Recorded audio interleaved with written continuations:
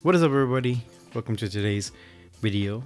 Today we're going to take a quick look at the Zoom Superfly 9 Elite in the Kylian Mbappe colorway. Um, this recently came out. I was able to get it early. I just never got around to making um, the video for it, so I'm doing that now. Um, I don't know too much about the colorway other than it was inspired by the Jordan 7 I don't see um, how or why. And then his like African roots, I believe.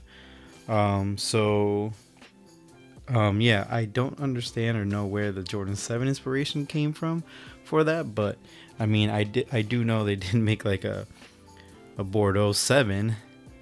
I don't know if that has to do with it. Um, but yeah, so let's open it up. Take a look. Here we go. Here's the boot right here. The swoosh kind of has the M in it from Mbappe. Um, not a cool or good looking colorway, I would say. Um, kind of just a whole bunch of different things put together, in my opinion, what it looks like. And there's his initials, of course, as a logo on the back. So, as far as features, it's the same as what has already came out. It's just his own personal colorway. Maybe he likes these colors. Maybe again, like I said, his um, African roots. Um, maybe they have something to do with that. Um, as far as the colors, I'm not too sure. But yeah, I just wanted to show you guys what the boot looks like. Um, I mean, they really do put a lot of detail into the boot, obviously, for him, but I still. Hmm, I still think that nothing's going to beat, you know, either Ronaldo's or even um, Neymar as far as, you know, carrying the Mercurial line. And I don't know if sales are doing too good because his last colorway, that like light purple, I didn't even bother getting it. And it took a while to sell out, actually. Um, so makes you wonder if they're really getting a lot of sales with him being the guy, I guess, in the Mercurial line.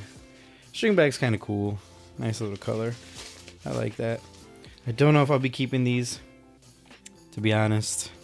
It's just not my cup of tea as far as the colorway. It's like a. Let me see what the exact colorway is. It does say dark, beetroot, metallic, and vivid gold. Sorry, I know that was out of focus for you guys, but yeah. So yeah, it's just it's just I don't know. I don't know if he has much say in his colorways, but it's just weird. I don't know. Not something that I could have or feel, you know, nice having on my feet. I guess, and that's and that's totally weird. That's more of a fashion statement than obviously than a football statement. But then again, I don't consider myself a very good footballer. I can I would consider myself more of a fashionista. You know, I don't get paid to play football, so I don't really care in saying that these on my feet would probably not look good, but I'll try them out. I'll probably try them for a game and see what I think. But speaking on Mercurial line, the new Mercurial and Superfly, Vapor and Superfly, I just played on like a very hard ground and I it did not the air zoom unit did not feel good. I don't know if anybody else is experiencing that, but I feel like you have to play on a very soft surface in order to like for it to feel comfortable. Um, maybe I just I was just feeling the the zoom unit too much and it, it didn't feel good, which is weird because again they put these in sneakers. They they put that same technology inside sneakers, and when you're on sneakers and walking on hard ground, it feels okay. But for some reason, I just I I I, I mean I feel I understand why a lot of pros haven't totally switched over, and and that's the norm normally. Ever since the um, Superfly 6 and Vapor 12 came out, the pros didn't make the switch um, right away into those, and going forward with the rest of the versions. So they are taking a while now to switch over, and I feel like maybe just because you know Nike already perfected the boot, and it's like now they're just trying to figure out how to sustain it or you know keep refreshing it i guess. But it's gonna be real tough to do that when you already made something that people really like. You know people really love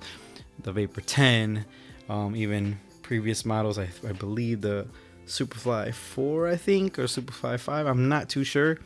Um, so you know it's it's kind of hard for them to keep innovating, but they're trying. Obviously, they're trying. I just don't know if this um, new Mercurial Vapor and Superfly are better than any previous version. I mean, yeah, you could say it's more comfortable because of that, but at the same time, it has to be on the right conditions for me anyway. And then a lot of people have been saying that they are wider than um, the eight, and I just do not feel that. These feel way much tighter, um, which isn't a bad thing, but these definitely feel tighter um, than the last version on foot. But that's just maybe my foot type. I'm not sure.